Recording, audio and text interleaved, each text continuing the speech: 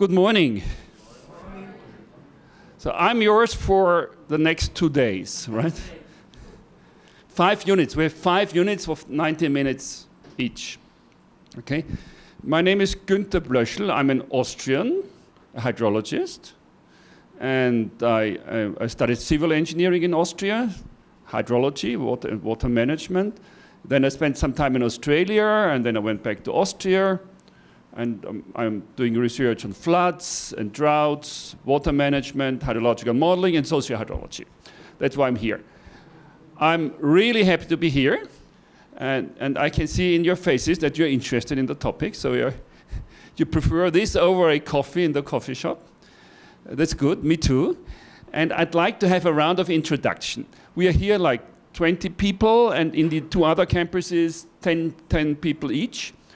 I'd like to hear your name and uh, your, your background, whether it's civil engineering or environmental engineering or geology or something else. Okay? And can we start with here? So we are a total of 35 people, so rather quick. Hi, my name is Cesar. Opa, sorry.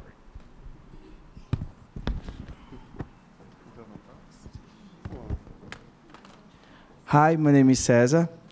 I'm sanitary and environmental engineering, and I'm a master degree student here. Very good. Thank you. Hi, my name is Bruno. I'm a civil engineer and I'm also a master student here. Just, yeah. Hi, my name is Yuri and I am a civil engineer and I'm also a master degree student.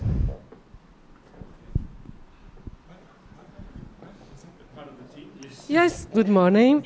Um, Good morning. I am Susana Montenegro. I am a civil engineer, and I am a professor at the Federal University of Pernambuco, a hydrologist. Good morning to you all. oh, sorry. Uh, I am Mario, I'm water resources engineer, and also a professor at the uh, São Carlos School of Engineering here in this campus. Everybody knows you, of course. Hi, my name is Felipe. I'm civil engineer by training and now I'm a PhD candidate here at uh, University of São Paulo. Hi, my name is Cristiane, and I am a civil engineer and a master student here too. Hi, my name is Tatiana. I am environmental engineer. Hi, my name is Talita. I am an environmental engineer too, and I'm master student. Good morning. My name is Karen, and I am civil engineering and also a master student here. Very good. Hi, I'm Marina. I'm an environmental engineering and I'm a PhD candidate. Uh, hello, everybody. Uh, my name is Jose, Mama, Jose Mamani. I am PhD uh, student. PhD student in civil engineering? Z. Yes. Hi, my name is Ilma, and I'm environmental engineer and master student here. Hi, my name is Paula. I'm a civil engineering and master student too. Hi, my name is Gabriel. I'm a civil engineer, and I also did a double degree, so I'm a, gener a generalistic engineer, and a master student too. Morning, my name is Eric, and I'm civil engineer uh, doing my PhD degree. PhD. Hi, my name is Alex, and I'm a civil engineer, and also I'm a master degree student. Good morning. My name is André, and I'm I am a civil engineer and a master student also. My name is Julian, and I am an environmental engineer and PhD student here. My name is Gabriela. I'm an environmental engineer and I'm a PhD candidate. Hi, my name is Lisette. I am agriculture engineer. Also, I'm a student degree. I'm a master student. Thank you very much. Can we get the other two campuses to introduce themselves? Is this possible? ah, sorry. Alfredo eh, Francini, será que os candidatos aí podem se apresentar rapidamente, o nome e a formação? Para todos aqui também saberem quem está aí. Chegando perto do microfone, pode ser? Alfredo? Pode ser? Ok. Começamos então com Pernambuco. Eh, Universi- Federal University of Pernambuco. Você está me ouvindo bem? Não, nós, Tá não, não está ouvindo, não está ouvindo. Então tem que ser mais perto do microfone. Tá me ouvindo, Mário? Está ouvindo ou está, estou vendo você, mas não estou ouvindo as pessoas. Tem que ser mais perto, viu? Tem que ser do lado do computador. Não, não, não dá para ouvir. Estou vendo você, mas eu não estou ouvindo as pessoas. Tem que ser mais perto. Tem que ser do lado do computador. There is a delay in the YouTube connection, so between Okay. So they will listen more Okay, I have a, a, a suggestion. É, we não, eu- próximo aqui. a list Pode fazer um teste. all names and the uh, uh. Okay. Make contact. Okay. Yeah. But this is it's, it's difficult. So, and they will listen. They- So, so they will listen, and there's not so much iteration probably. Yes, but they can make some questions. Uh, Okay. uh, through the elections. Okay. Okay. So mainly civil and environmental engineers. So in what way are engineers different from other water scientists? To, according to me, two main things. What stands out, what you have learned or are learning relative to geologists or social scientists or meteorologists, biologists? What are your two main strengths, I believe? What would you think? Two main strengths. There may be more. So, what do you think are, you are good in? Better than maybe a biologist? Calculations. You love mathematics, right? Because engineering is quantitative. You want to demonstrate things, right? Okay, you are quantitative. Second thing. Ah, you need the micro. Ah. Ah, for me, okay. second thing. What's the second thing you're good at?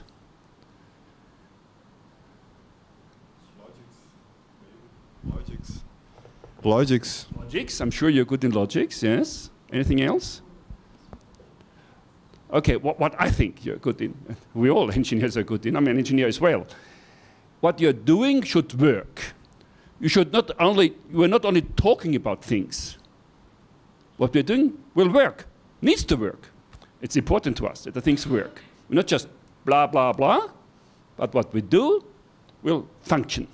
Okay, these are two main things quantitative and things will work, which is different from social scientists, for example. They are not quantitative. Well, They are very nice people, but they're certainly not quantitative, and they can talk forever with any concrete outcome. Okay? Because now we're talking about sociohydrology. Okay, now uh, this course will be interactive. I will talk 50% of the time, you will talk 50% of the time. I hope. That's the plan, right? So just adjust yourself to that. I really expect you to talk and contribute to the discussion. And we'll steer the discussion, and we start with sociohydrology. And um, there will be a, a talk in the afternoon where I have a PowerPoint presentation for a bigger audience. We'll probably also be there, and uh, we'll show some nice slides. But now, briefly, have you read this paper? This, have you all read this paper? Or not? Okay. Main message. What's the main message? Oh, you already need to start talking, yes? You can see. What's the main message of that paper? Please. Hey, there's a conclusion section, it's a full page.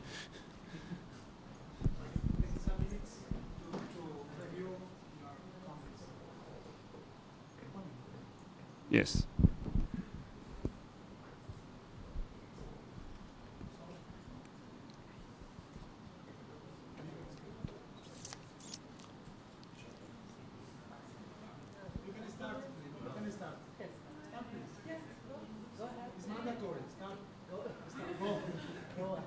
Somebody must start, right? Please. Not you. Okay. Who else? Yeah, I understand that. Still, that's why we're here. You're not here only to listen, but also to talk. Both ways. It's two ways feedbacks, correct? Yeah. It two ways feedbacks? This, so anything related to this? Two ways feedbacks? So, what kind of two-way feedbacks are we talking here in this paper?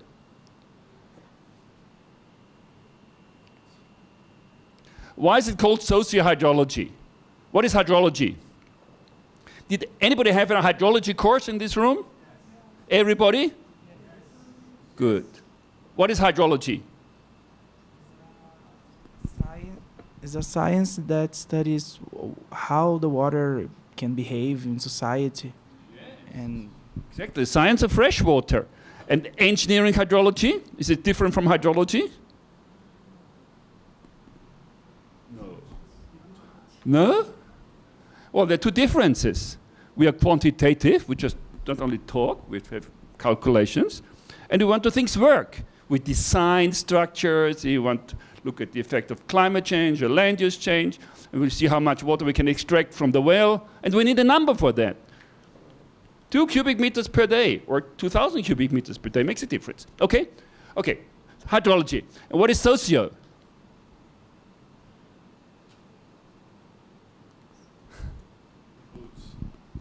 includes people in the process of decision and modeling as well, includes information from people as well, I think. Very good. So, socio is about people. None of us are sociologists or psychologists, but we all have to do with people, right? Every day with lots of people. And people behave differently. You have some people this way. And usually there's, there's a difference between psychology and sociology. Psychology is about how individual people behave.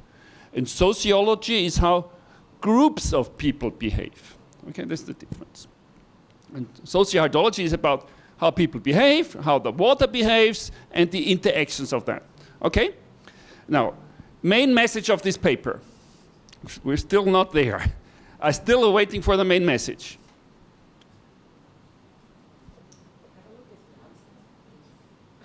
Yeah, don't cheat. Don't look at the abstract. yes, it's okay to look at the abstract. this the main message is usually towards the end of the abstract. Very true.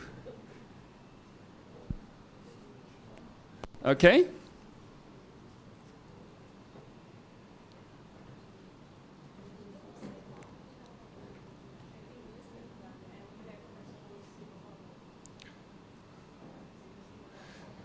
I can assure it's going to be even more interactive one, than what you think. I will make you come out and draw on the whiteboard.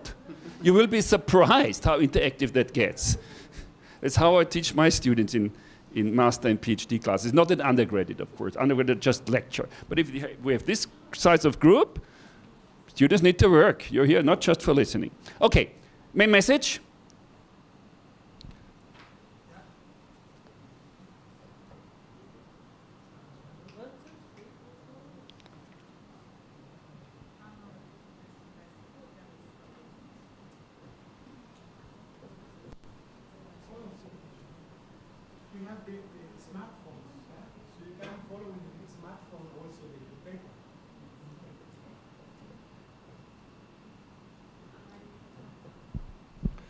Okay.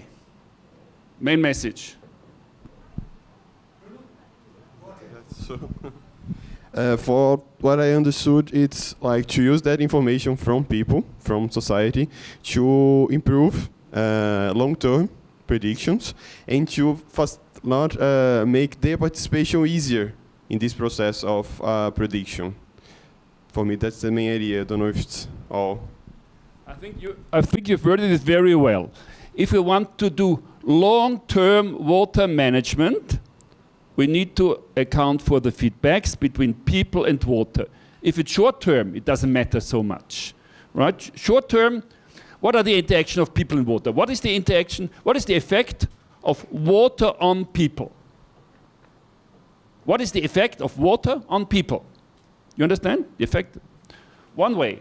Effect of water on people. One way effect. There are a number of effects. In terms of floods, there's a flood and the water damages our infrastructure. It's an effect of water on people. There's a drought and the crops die.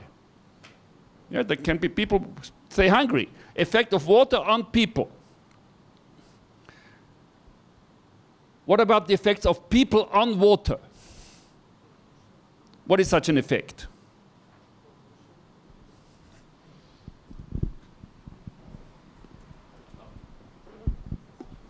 Uh, pollution, scarcity. Pollution, yes. One effect of, of, of people on water is pollution.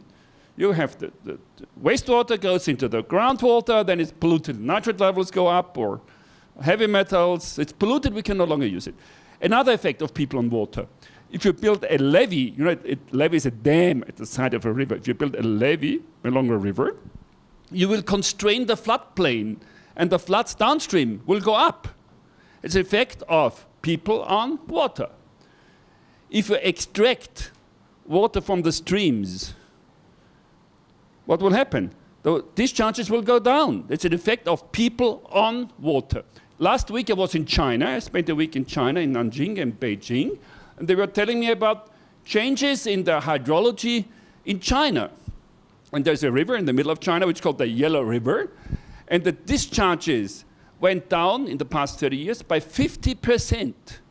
And this was not climate change. It was people extracting water, a lot of water, 1,000 cubic meters per second out of that river for irrigation. It's an effect of people on water. So water affects people, people affect water. And then if we extract water from the stream, there's less discharge. This will also, again, affect people, downstream people. They have not enough water. Right? And if we pollute the water, it will also have, have an effect of people. So there's a two-way feedback. People affect water, water affect people. Okay? In the past, people have not accounted for that. They only looked at one-way interaction, one effect. And if it's a short-term planning, that's okay. But if it's long-term, we need to go both ways. Water, people, water, people, water, people, water. Okay? A feedback. So conceptually, that's not very hard to understand. But we want to look at it in a quantitative way. And that's why we have this paper, which Siva and myself have written a couple of years ago. We try to do this in a quantitative way. And we can, can you bring up the, the can you bring up this paper? So we can have the first slide. We go through the figures of this paper. Just the first figure, yeah, maybe full screen, and then uh, yeah, and sc uh, scroll down, please. Okay, top left, and can you zoom in? So it's the full, full, full screen. This picture. Okay. You saw this picture. Did anybody not understand this picture? it's not a nice question, right? Did anybody not understand this picture? Did anybody understand this picture? Uh. Okay, you did not. What is on the horizontal axis? What does the horizontal axis show? So you had your mathematics, right? You know what a Fourier transform is? You know. So what is frequency? What is a power spectrum? A power spectrum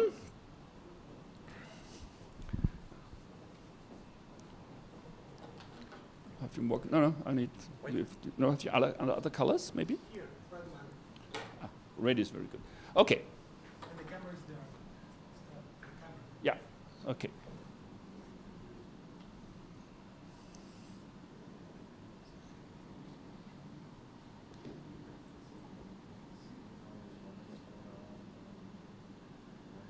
So on the horizontal axis, it says frequency. It's like a, like has to do with wavelength, know, wavelength of light, of, of sound. In uh, high frequency would be a high pitch, and low frequency would be low pitch. High frequency would be blue light. Low frequency would be what color light? What's the low frequency light in the light spectrum? Red, right? Right. So, and then the power tells us what proportion of the frequencies there are in the entire spectrum.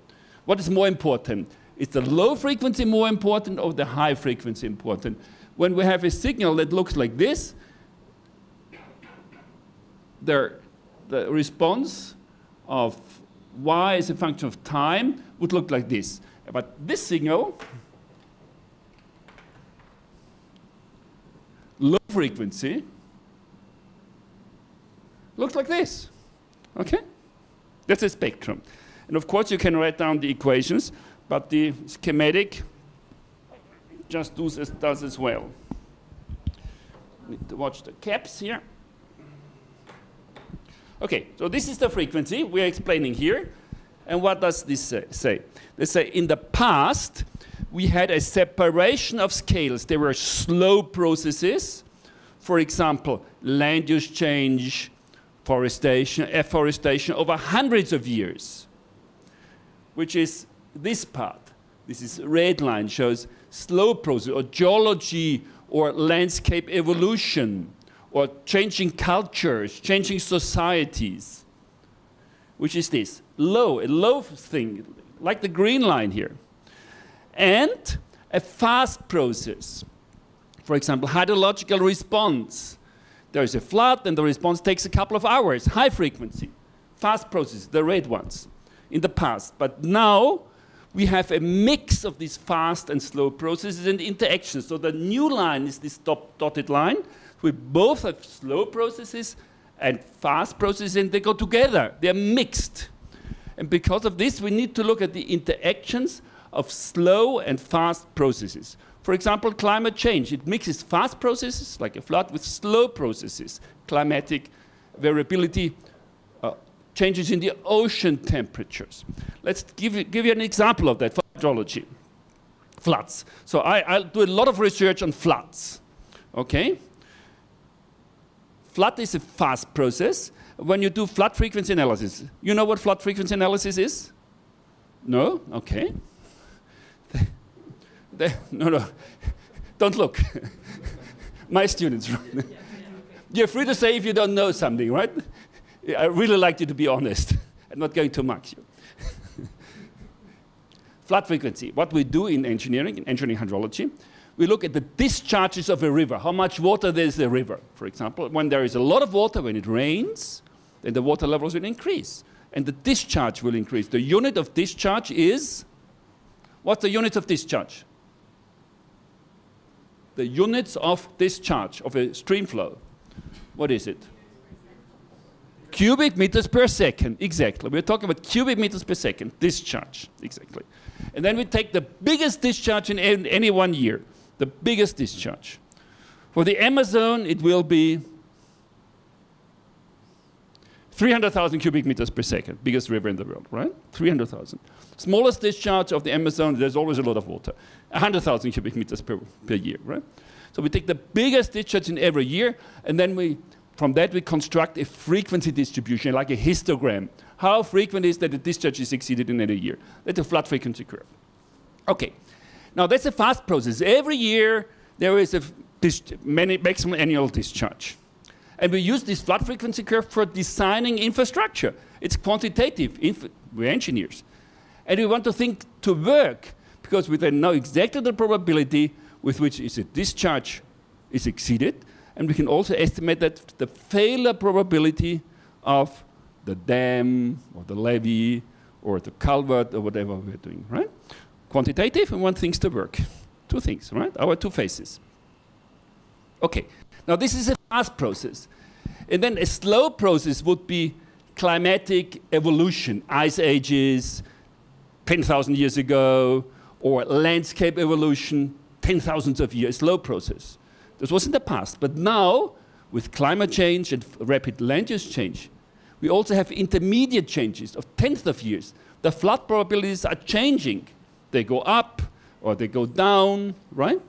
This is the intermediate thing. We now look at, need to look at the interaction of the fast and the slow processes. Climate change and floods, for example. Okay? Next, next figure, please.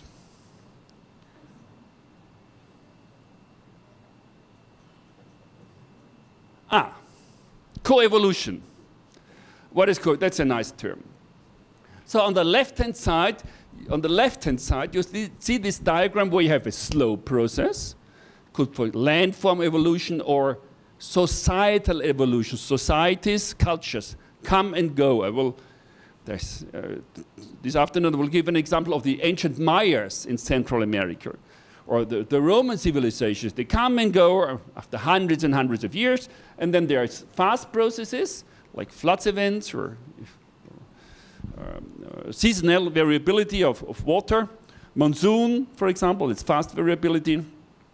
Now, the coevolution idea. Anybody would like to comment what coevolution is?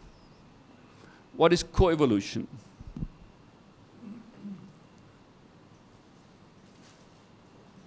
I give you an example from your daily life what coevolution is, right?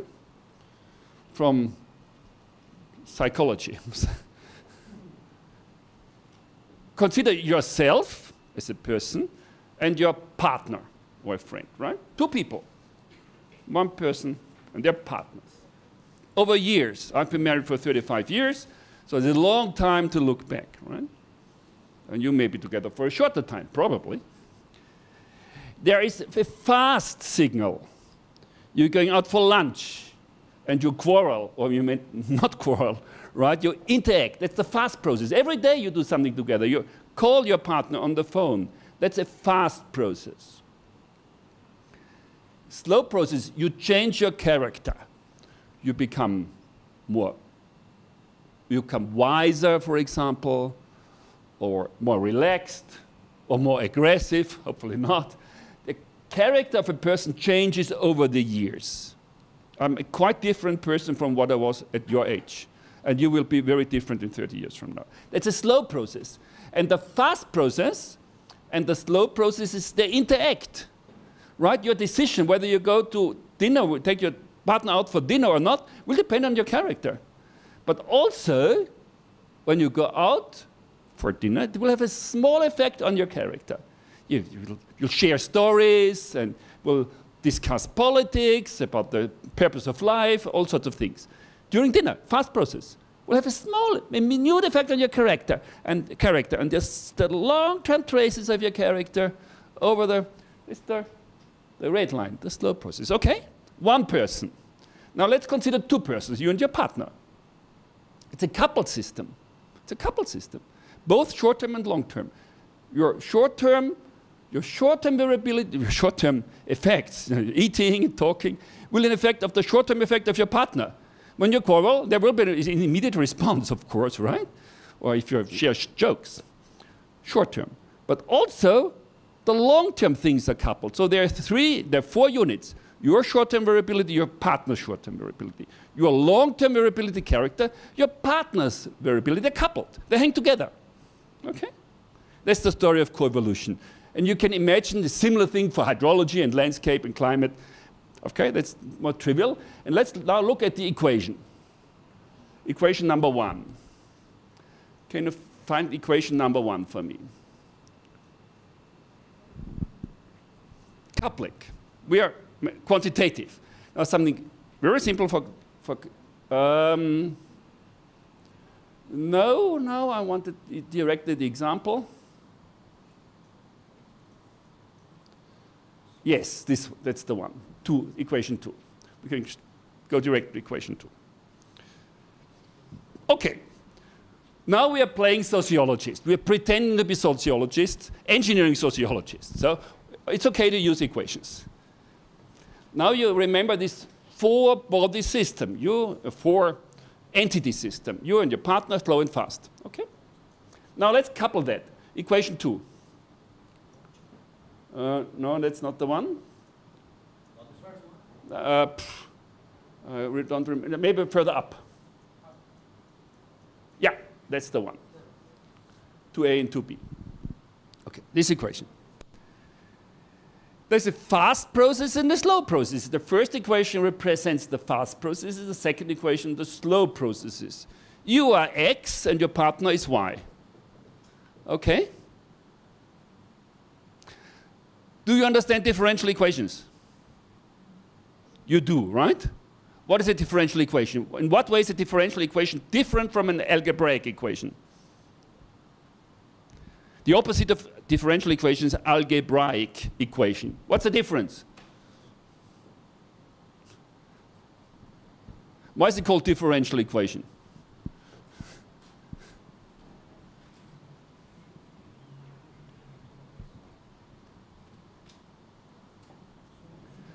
What's a differential equation?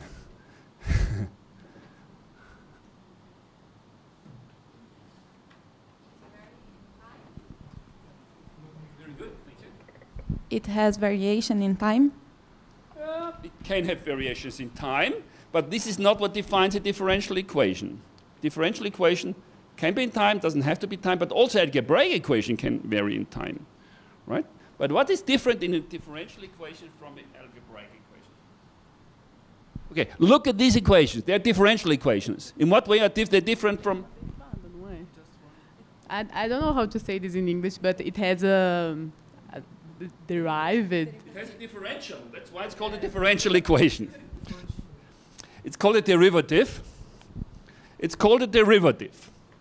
On the left-hand side, it's a derivative of the variable x, which is the dependent variable, as a function of time. It, this derivative tells us how fast does x change with time.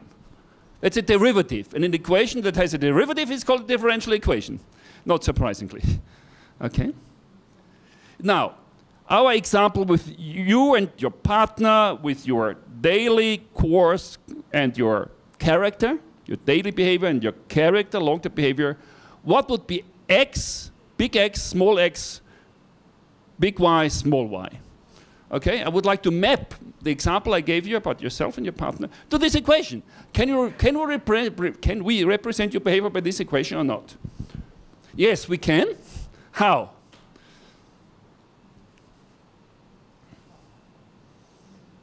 How can we? We have four entities. Your daily behavior, your character. Your partner's daily behavior, your partner's character. And we have four variables here, which is what? Hmm?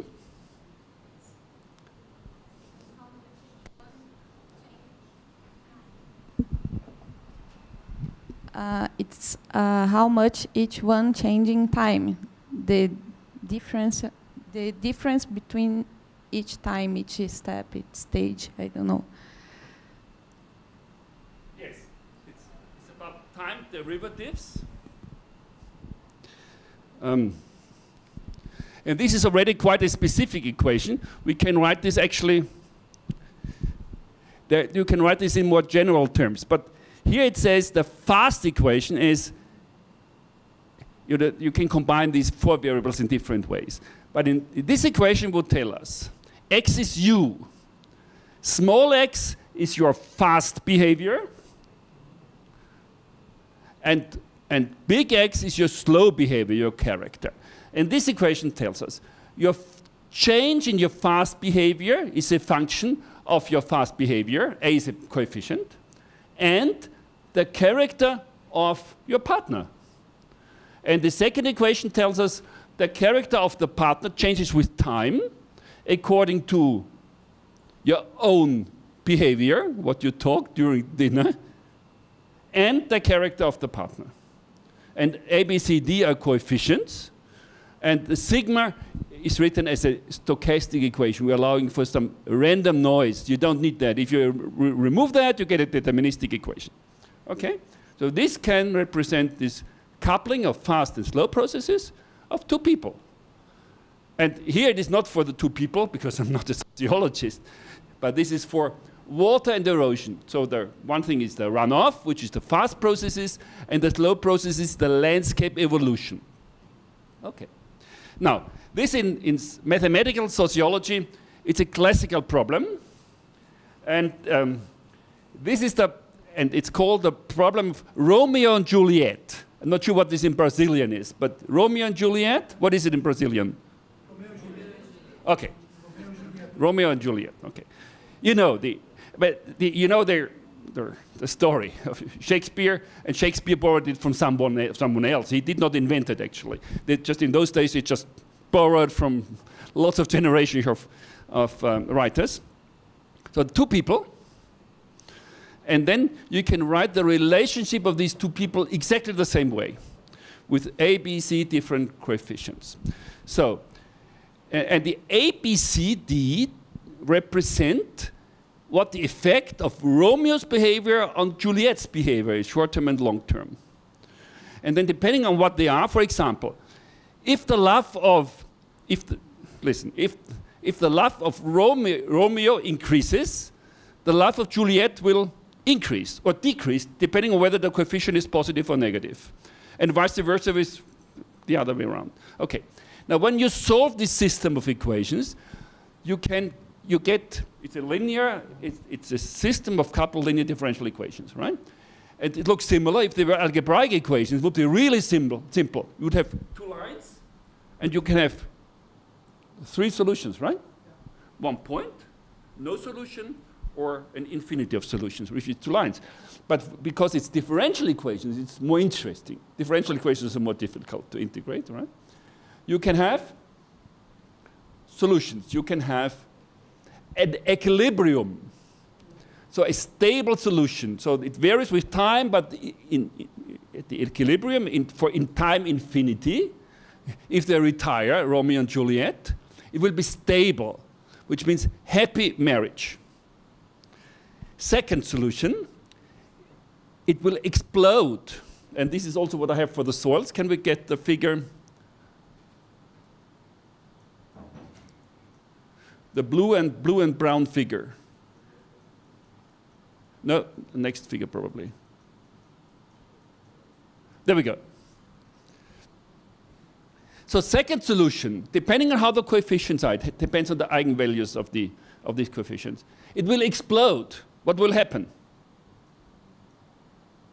They will break apart, right? So they will just separate and each goes their ways. Second solution. Third solution, and which is interesting, is an oscillating solutions, right? For infinity. So there's Romeo and Juliet, they can, can quarrel and make love, quarrel, make love for infinity in these mathematical models, which is quite interesting. This is not what I would expect, but this is in the mathematics of the equations. And the same applies for runoff and soil erosion. So uh, the left figure shows a stable solution. So it rains, but there's soil formation and soil erosion, soil formation, but more or less the soil stays stable. But on the right-hand side, the parameters slightly changed, the coefficients, which means there is erosion, but because the dependence is slightly different, there will ultimately, in the long term, there will be a depletion of the soils, and this landscape will turn into badlands, no soil, no vegetation. It collapses. It's like the divorce, the separation of Romeo and Juliet. Okay? And this has to do with the connections because they're coupled. Ah, thank you very much. Because Romeo and Juliet, they are coupled on the short term and on the long term. Okay? Can we move on? What, what next? Okay, then more examples. We don't need to go through that. Okay, let's keep going, please.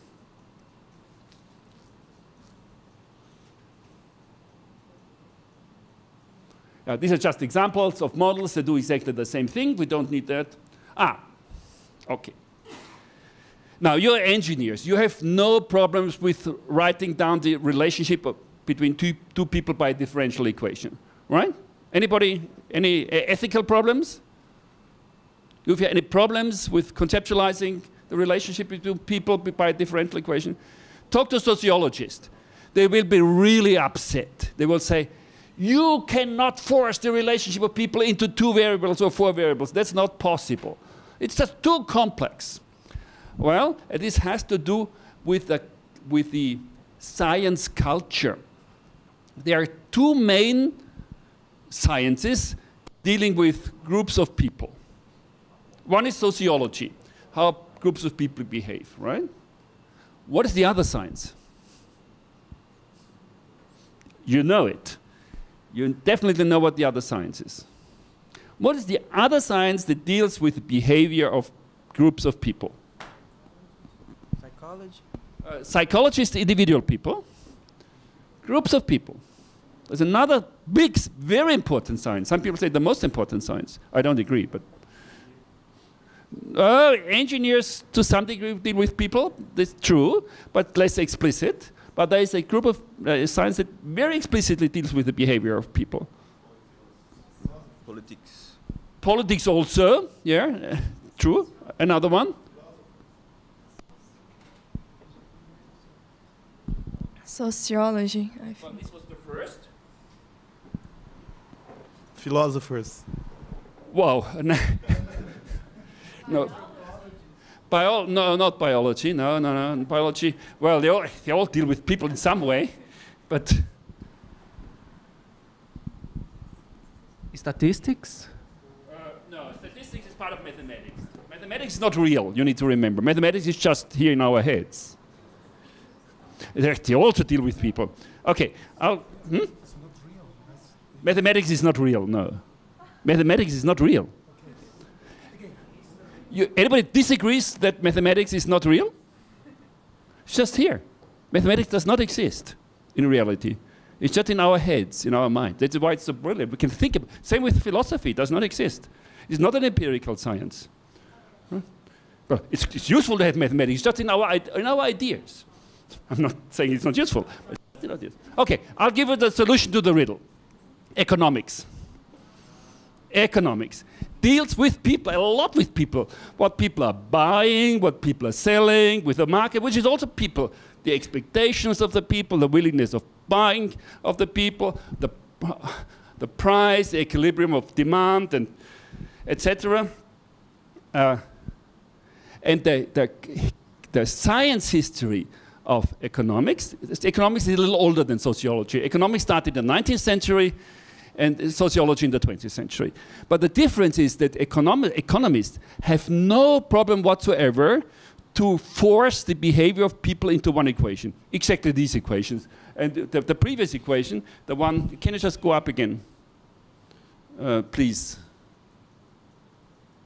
This one, yeah. This is an economic model by a colleague of mine at my university. She's a mathematical economist. And she forces exactly the behavior of people into this kind of equations. She has no problem whatsoever. So, whether we can quantify the behavior of people by simple equations or not has nothing to do with the people or whether it's possible. It is our choice. And there are two schools, economics and sociology, who have made different choice, choices just the way it was. There's no inherent reason for that, right? But just we observe sometimes it's like politics. Politics evolve sometimes without a reason. Just happen to be this way. Okay. So I do not have any problems with using equations because economists do exactly the same. Okay. Next equation. Now, what is your idea about decisions? How do people make decisions? This is sociology for engineers, right? How do people make this? How do you make decisions? Are you rational? You are rational. Sometimes. Sometimes. Who would uh, who would consider himself or herself a rational person? Okay, I don't ask who is an irrational person, but the, the opposite of being irrational in the decision would be emotional. Okay, I tell you how I think I work. I don't know how I work, but how I think I work. Because in, in, in this kind of science, reality and perception are always two different layers, right? What is the case and what you think is the case is not the same. Is there a similarity with hydrology? What is the reality and what we think is the case? Is there a similarity in hydrology? What's the similarity? Two layers reality and what we think is reality. It's called a model in hydrology. A model is what we think is, it's not reality. We think it is. It's a perception. Okay. I, uh, I'm going to tell you how I think I work. I usually make an emotional decision.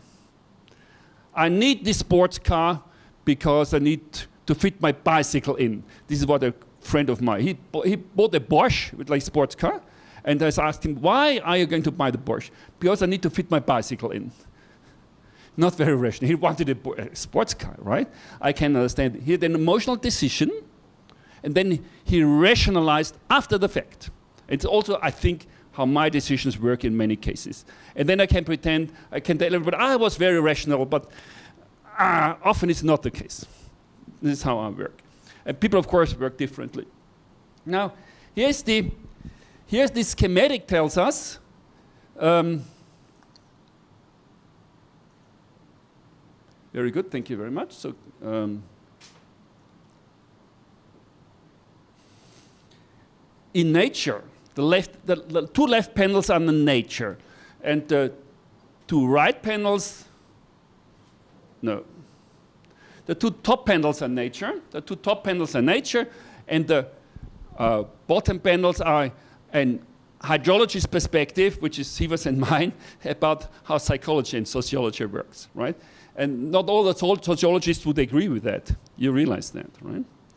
So, in how nature works, if there is a constraint, nature has no possibility to go beyond that constraint. So, uh, for example, if you wanted to fly without an aeroplane, you can try as hard as you want, gravity is too, too strong, right? You cannot go up. Agree? It's not possible. There are physical laws that cannot be violated. Mass conservation, it's always there, cannot be violated. Can people violate laws? Is it possible for people to violate laws? No, no, I mean so societal laws, not natural laws. Oh yeah, we can do that. We do this all the time, right? We speed on the road and we violate the laws all the time. So that's one difference.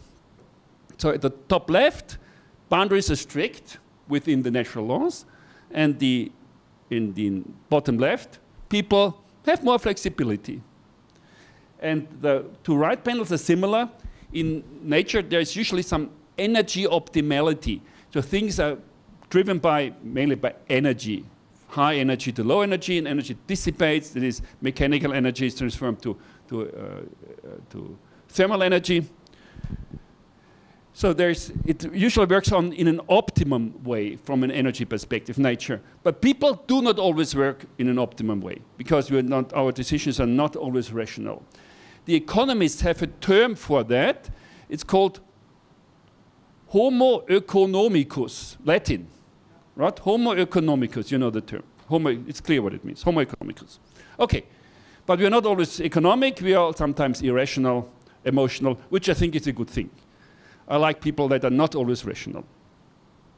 Okay, can we go down? Okay, now there are examples, and I will give more examples in the afternoon, so we don't have to go to that. There are also scales, that's not so important. Uh, uh, what is that? Stop, stop, stop, stop. What is that? Ah, can you make it a little bigger, please? Now, this concept of emerging phenomena, that's an interesting concept. It's a bit subtle. Emerging phenomena. You have read the paper. Can anybody of you rephrase? It's not easy. Rephrase what an emerging phenomenon is. Emerging phenomenon. An emerging phenomenon. You can, yeah, no, no sorry. The consumption of the habit of people uh, changing through time is an emerging factor because it's not the same. I agree with that, yes. Emerging phenomenon. Anybody else can give me an example what emerging phenomenon is? Okay. Let's go back to sociology. You have 20 people in this room each have their interests and your you would like to, what you would like for lunch today or whether you go for dinner tonight your decisions what car to buy you all have your own decisions now i allow you to interact after the interaction the group outcome will be different from the accumulation of the individual interests why is that because of your interactions. You have an emerging process, an emerging phenomenon.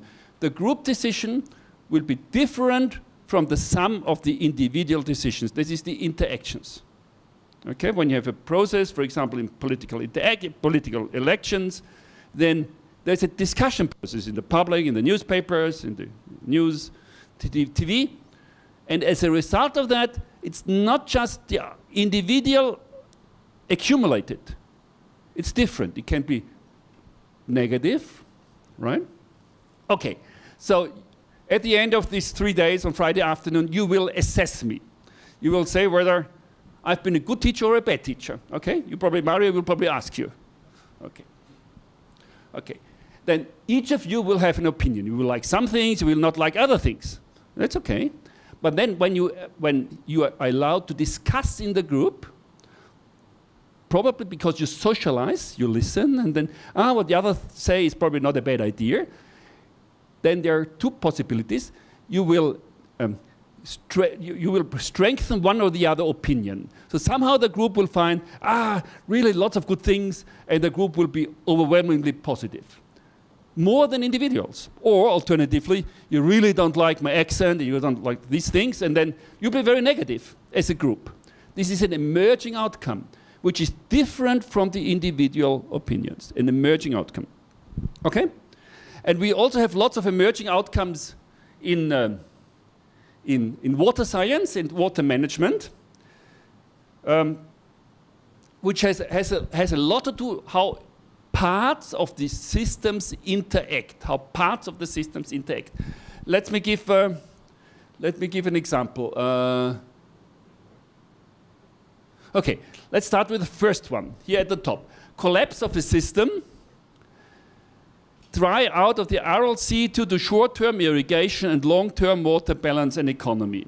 So the Aral Sea is a, it's a big lake in the former Soviet Union, and it uh, has been, it's complex. If you go into the history of the Sea, it's really complex. But one of the factors has been that the, the Russian army has been using irrigation, well, the water that flows into this Sea has been used for irrigation, so extracted from the stream, and used for irrigate, irrigating crops, cotton, cotton to produce wool for the uniforms of the Russian soldiers, right? It's more complex than that. It has to do with all sorts of things and compensation, hydropower, but this is one of the one of the effects. And at the short term, people thought, well, why not grow crops? So we, our soldiers need uniforms, right? But in the long term, what happened? The the Sea dried out with all sorts of other complications. Things emerged which we did not foresee. That's why emergency is a subtle, com- subtle uh, concept because things emerge that we individually, subjectively, as a scientist, uh, don't see immediately, which is not obvious to us. But may- maybe due to our limited understanding, so it's, it's a relative concept. But it's not just an accumulation, not an accumulation of things, it's something new emerges. Okay. Okay, we can just move on. Emerging concept, emerging things. See, the depletion of the soil in the first, the blue and brown uh, figure, no soil, badlands. New things emerge we didn't think of. Okay, can we, uh, uh, no, uh, no, is there another table maybe? Go up, please. No, up. The same table? Okay, then I, maybe there's no table. I need to tell you something about system science. Anybody knows what systems science is? System science is something very interesting. You probably were not taught what system science, maybe. Systems science. I, I find it really cool. System science, it's a science. What is a system? what is a system? A system can be anything. It can be anything. It can be a technical system. A bridge is a system. You you build a bridge, then you load it with a train and with wind, right? It's a system. It will respond. There are forcings on it, and will will be have behavior. It's a system. Can you think of other th- systems than technical systems. Of course, we are engineers, we think of a bridge. Okay? Can you think of other systems than technical systems? Yes?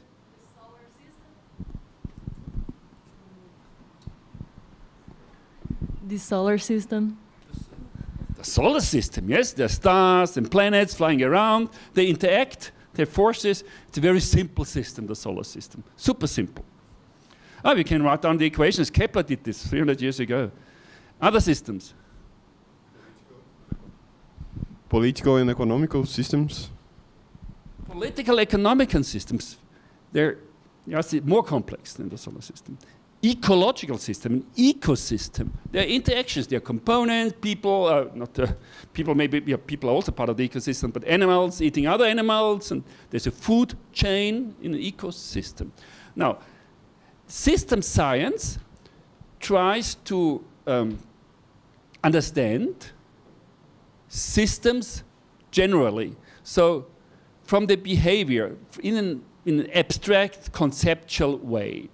So in, in, instead of uh, accounting for what in each individual bug and earthworm does in the soil, they look at the behavior of the system as a whole. And these equations at the beginning, these coupled linear differential equations, are typical equations used by system scientists.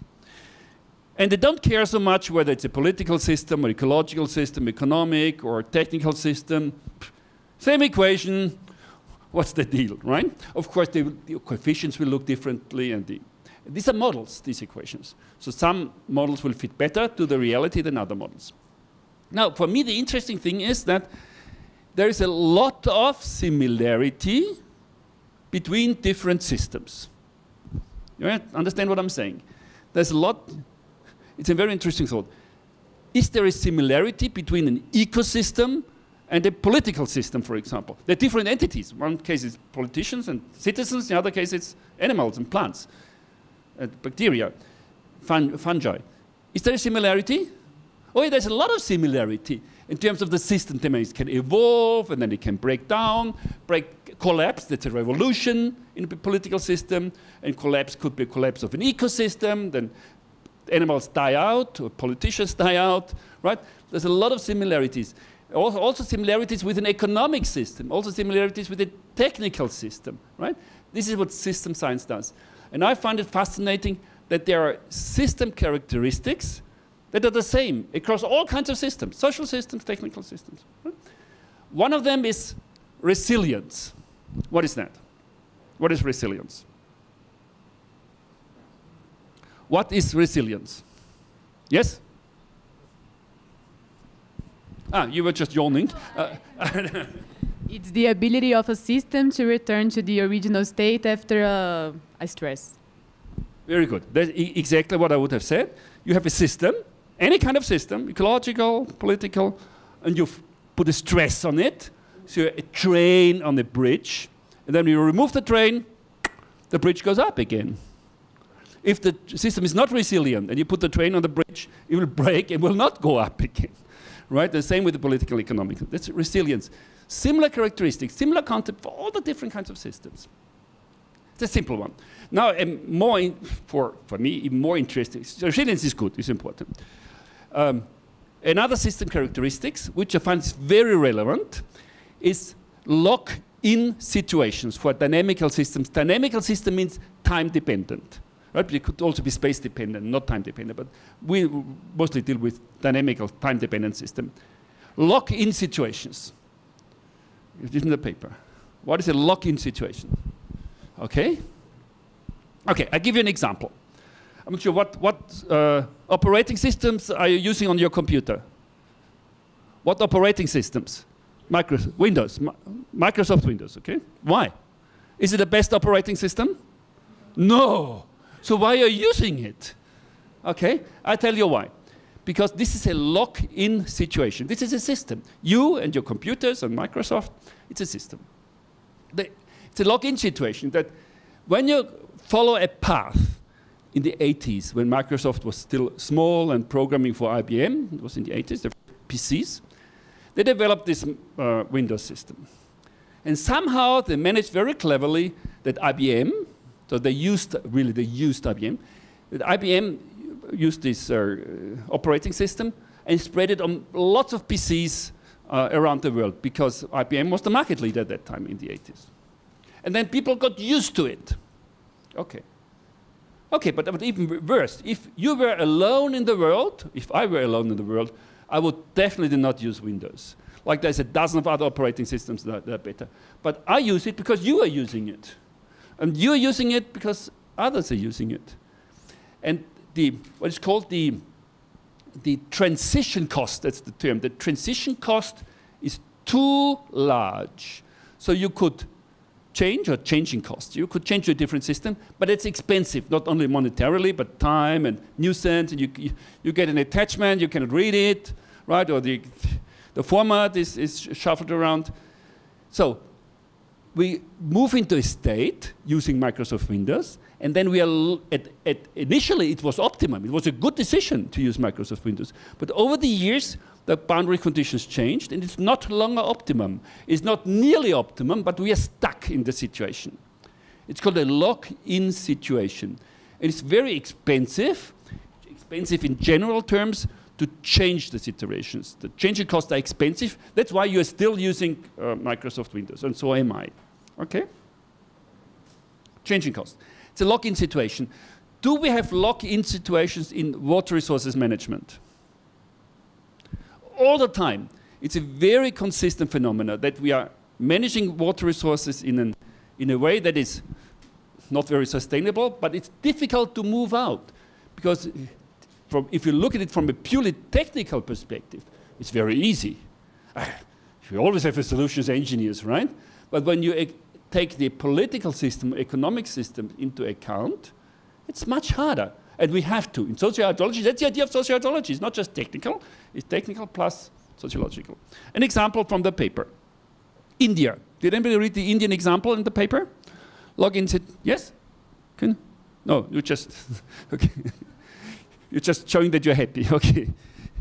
Uh, the Indian example. In, in a part of India, and I know the situation because my co-author, Siva Sivapalan, he's from Sri Lanka, so he knows the Indian situation very well. One uh, state in India in the southwest, for political reasons, the politician promised the citizens free electric energy for pumping groundwater. Okay? It's a good idea. What happens? The citizens elected them, this, this group of politicians, this party. So they got, get into power, and they lived up to their promise, which is a good thing. That's not always the case, but they made electrical energy free for all the citizens uh, and paid it from the government, uh, government uh, funds in order to pump groundwater. What, what happened? Guess. If you pump groundwater all the time to irrigate. Uh, as hydrologists, we know the groundwater level will drop, which is not a good thing. And just so they had to pump, use more energy. You know, when the groundwater table is lower, 50 meters below ground, you need much more energy to pump it out, up. But that's not a problem because energy is free. Let's pump more groundwater and develop the country. Okay. Now the politicians realized, ah, was very good idea, so I'm in power, but maybe not such a good idea because groundwater levels are depleting, which is not good for our environment. And they thought maybe we change it. You think they changed it? No. For for technical reasons, very simple. Just introduce the uh, uh, charges to, for the electricity, but for political reasons not, because if they were worried about changing it, because the next elections, they would have lost them. Right? This is a lock-in situation. For technical reasons, you can move out. But if it's the coupled socio-hydrological system, you're stuck. So they're stuck with this government, and you're stuck with this free electricity, and groundwater levels are dropping, dropping, dropping, dropping again.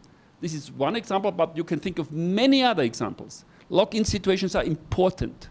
And if we look at it from a systems perspective, systems dynamics perspective, we can see, well, there's a lock-in situation with groundwater, and there's a lock-in situation with other things. You, you can imagine that. Lock-in is very important. But there's also, there's collapse and, and, and oscillations, but also other system characteristics. But I like lock-in most. I like lock-in most. Uh, very often the case. Okay. Let's move on. So this is what's the sort of introduction. Now we are getting, how much time do we have? 10, 10 minutes. It's flex. Um, okay. Now, what I, I did not tell you what I want to achieve in the next five uh, lessons, which I should. A good teacher should say hello, or let's introduce themselves, and then introduce what we want to achieve in the next days. I did not do that, right? But I'm doing that now. What I want, what I want to achieve from my perspective is for you to get an understanding about this coupling in the systems behavior of socio-hydrological processes, first. Second, that you are able to frame your own socio-hydrological problems. Frame. Okay, that's an interesting English word. It doesn't exist in German. I'm not sure about Brazilian. What does it mean, frame? Okay, literally it means you have a picture and you put a frame around it, right? literally. Hmm? a, draft uh, in, in, in Portuguese could be uh, marco, schedule, a frame, it's a schedule. It's a, the big picture about your problem. Mar marco is the frame. Okay, so what it means is you have a problem and you want to structure it in a way, you want to structure the problem in a way that you can deal with it in a quantitative way. Okay? For some problems, it's easy. You have on a beam, civil engineers, on two supports, you have a load on that beam. And then the beam will lower, and you want to estimate how much it lowers and the strength of the beam. People have done this before us, like 150 years ago or 200 years ago. It's very, we are taught how to frame that, okay? Two supports, one beam. You don't have to consider the thickness of the beam. The beam is just one line. So we can use the linear statics for that. Elasticity theory has been framed for us. Socio-hydrological problems are not easy to frame. It's not at all obvious, and there's not one best solution how to frame it. Framing means what are the components of the system? How do they interact? And most importantly, because it's a model, what are the system boundaries? Okay? After the break, I will start with these seven steps. It's a guide to framing socio-hydrological problem, and I will explain this in the next unit for you. And after that, you will frame your problems for me. Okay, I will ask you out to the whiteboard. Think of one Brazilian water problem, could be floods, droughts, water quality. Yeah, your problems, not my problems. And then let's go through the steps for your problem. And you will learn not only how to deal with that particular problem, but the procedure, how to think about framing uh, socio-hydrological problems in generally this framing is, uh, is universal, not just sociohydrology. You could also frame other problems, cultural or, you know, but this is, it's, the overall idea is general, but the, the, the focus is sociohydrology, right? Framing. We have a problem, and then we say what is the boundary is, what are the components, what variables do we use, how are the interactions between the variables, how can I test this model, and this kind of thing. Okay, I'll give you a homework. How much, how, how long is the break? 30? It's very long. Well, to shape the frame in the next unit, but you get the homework for the break. It's a break work, not a homework. you get a break work, so it's, it's no time to relax. In the break, it's time to think. I would each this this course is about thinking, right? You need to. I would ask you to think about your socio-hydrological problem. So, it, in order to qualify for a socio-hydrological problem, it should be real, not made up, right? Real. So when I ask Mario, is this real in Brazil? He can say yes. It's not made up. right? We don't want fairy tales, real world problem. You, we need hydrology as part of it. We need some social, economic, political aspect of it, and we need some coupling. The floods, droughts, irrigation, ideally in a particular location you can think of. In my hometown, where I'm doing my PhD thesis, right? Each of you, please, during the next 30 minutes, think about a socio-hydrological problem, and then uh, you think about that. Then I will explain the overall structure, and after that,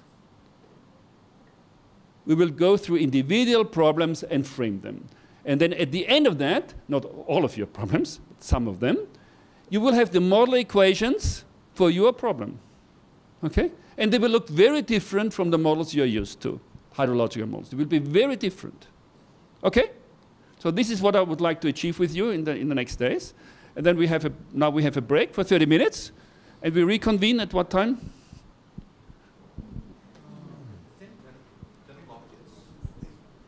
Okay.